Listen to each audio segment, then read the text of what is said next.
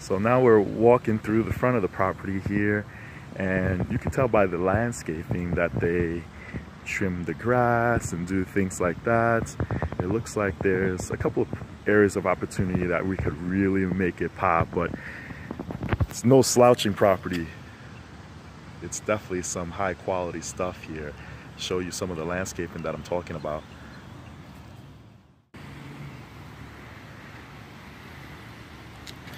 Have some trees that were recently planted in. Haven't reached full maturity yet. It's like easy to maintain shrubbery. It's a beautiful, beautiful leasing office attached to some of the units. You know, those those are your first impressions, right? Yeah, just Jeselle has is saying that it has that Spanish villa feel. You have a dog park. Still hasn't been completed yet.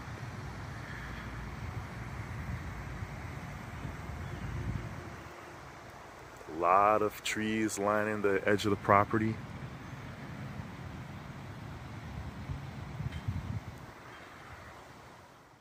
Like we said, some good opportunity for future upside.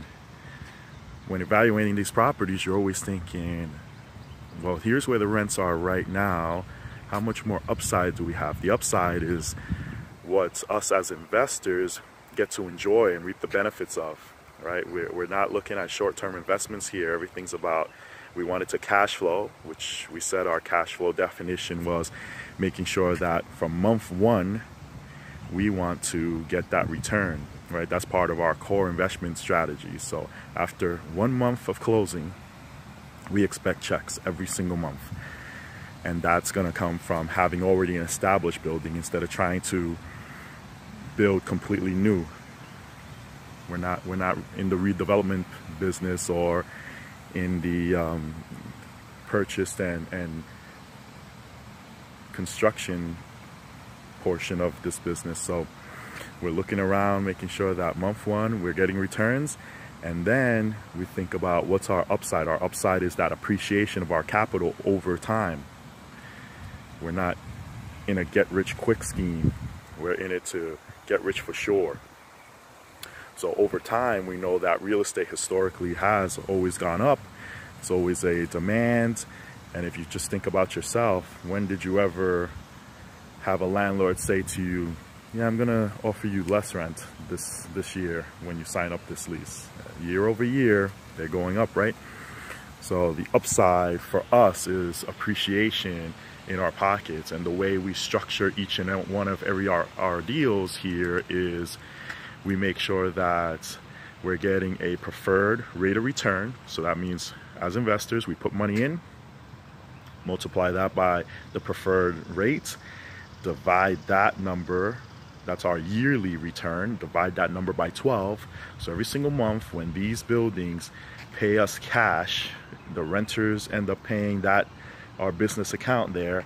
We end up taking up that money and we get paid first as investors right? The 12 equal payments. And then our job with the property management team is to make sure that there goes Jeselle she always leads our property management team. We make sure that we're going to make sure that these people are trimming costs as much as possible. So Jeselle's job is to make sure that we effectively give a great product. This is our product, right? The places that we buy. That's the product. Renters are paying us every single month to live in our product and we want to ensure a great experience. We want to ensure that the landscape is on point. We want to make sure that they get all the services they expect. That pool is clean. We have a few ideas here because it's a more upscale property. We see that they pay for services like valet garbage. What's to stop us from also offering valet clothes drop off. It's kind of like a wash and fold service, right? That you have in any other big city. So here, to just to explain to you what valet is, they charge an extra $25 a month for you to take your garbage bag and on your way to work, just put it out your front door. You don't have to walk all the way over, and I'll show you. Out the building, you'll have to walk all the way over there, right? And then, in order to walk all the way over to your car, which this is just some of the parking lot, right? This is the parking lot for people just entering the building and working in the building, but there's another one back there with garages and such. They pay $25 a month more in order to have the convenience of just dropping off your laundry in front of your door. Good, let's take it one step further. We're thinking providing the same types of service for laundry. That's a premium, right? We'll have somebody in the laundry facilities set it up just like any other wash and fold laundromat. You don't have to worry about the quarters.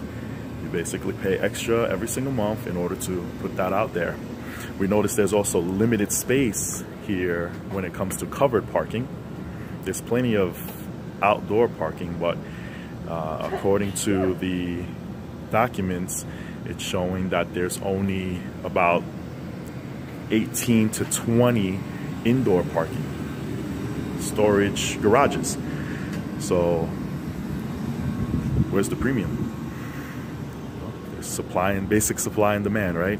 You want to ensure that there's low supply of parking, then you need to pay a premium for that convenient parking spot that's completely protected from the elements, completely indoors.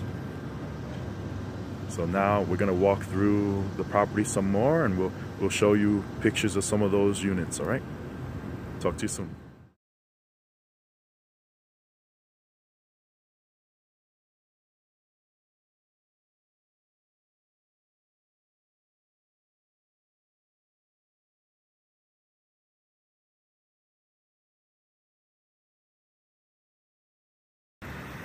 Still looking to evaluate the members of management. That's important, right? Are we going to keep the current management team? Are they doing a good job? And do we feel that it's up to our standards? If not, we'll be training just like in any other business. Jeselle will be handling making sure that they have a clear understanding of our expectations. But uh, right now, we're just here to evaluate. We're going to evaluate them see if they're worthy of being added to our team, see if there's opportunities there for improvement. Sometimes uh, increases in rents are just a matter of changing the management team. You know, I'm sure you've been to places where you could tell either the owner of the property or the management company that the owner hired in order to take care of the property just really didn't care, right? They let anybody they wanted in into a place like that, or they didn't have a great vetting process. So we'll we'll be here to check that over to see if there's any upside potential in appreciation of our investment dollars just by changing the management team or making improvements to said management team. Then the other two things are the process, right? How is it from the experience as far as the renters start to finish.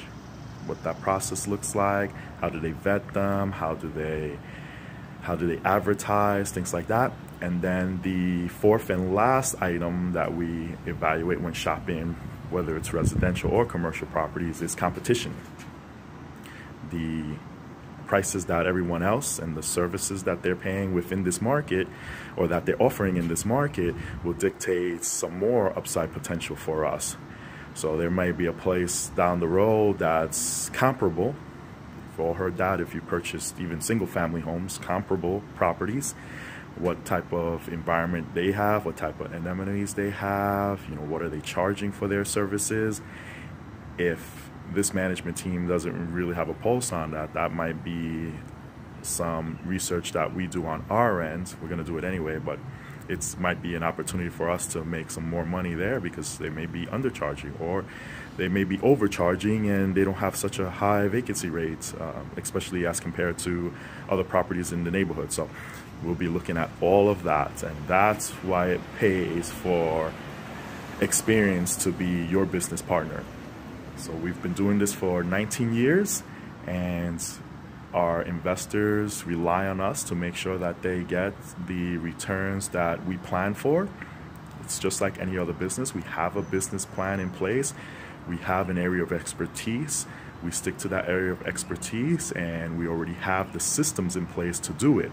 For those of you saying, you know, hey, I want to start this on my own, it's it's difficult, you know, from the ground up to start a business like this especially when you don't have your own capital to do it. You know, it's fine if you're going to buy a property like this for 20 to 50 million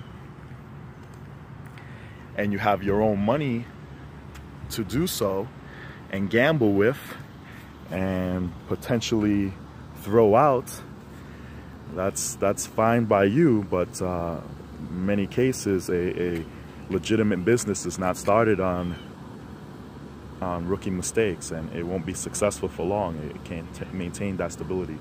So we appreciate you joining us. We appreciate your confidence in what we do here and we look forward to showing you more about this property and what it has to offer.